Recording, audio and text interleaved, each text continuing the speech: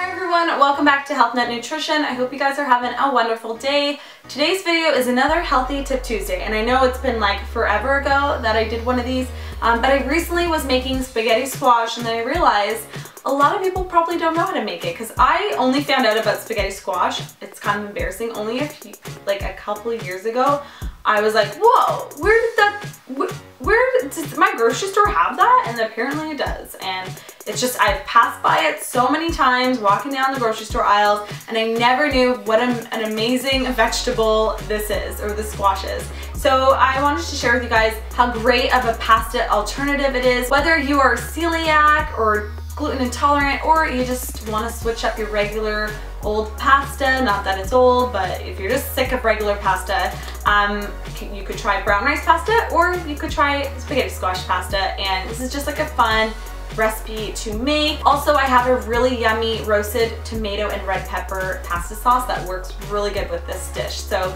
uh, without further ado, let's get right into how to make or how to cook spaghetti squash. So you're going to, of course, need a big spaghetti squash, some coconut oil, and some water. You're first gonna wanna chop off the top and the bottom. This just makes it easier to stand on the cutting board um, so it doesn't slip around while you slice it in half. You can lightly steam it if you want, just make it a little bit easier to cut through, but if you have a good knife and some muscle, then you can do this, trust me. Once you've chopped off the ends, you can go ahead and make sure it's st sturdy on the cutting board and slice it straight down the middle. And someone gave me the tip of slicing it horizontally, so that way you get longer spaghetti rings, which is kind of cool. I wish I knew that before I filmed this, but that's another option as well. And then you're just gonna go ahead and scoop out all the seeds with a spoon, just like you do on Halloween, except we're not gonna carve these, we're gonna eat them. So you're just gonna keep scraping and pulling out all of the gooey parts until you are left with a semi-clean spaghetti squash center. Then go ahead and pop them into your cooking or baking tray. And I just like to take a little bit of coconut oil. This is optional. And I just like to give my spaghetti squash a good rub down. This just kind of helps to make sure it doesn't dry out while it's in the oven and doesn't burn or anything. Um, like I said, this is optional. You can totally uh, omit this if you want, or you could do it like I'm doing it. So I'm just gonna give it a nice little massage and make sure everything stays nice and moist.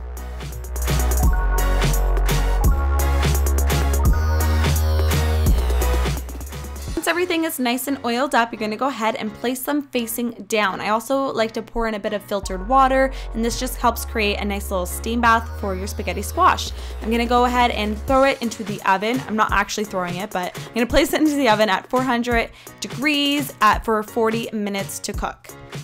Let your spaghetti squash cool a little bit when it comes out of the oven and then go ahead and just start using a fork to pull away the um, butternut squash meat away from the skin. And as you can see, it literally turns into spaghetti right before your eyes. It's pretty cool. I love this vegetable and like I said, it's a great alternative to your regular pasta and it's gluten-free and super healthy.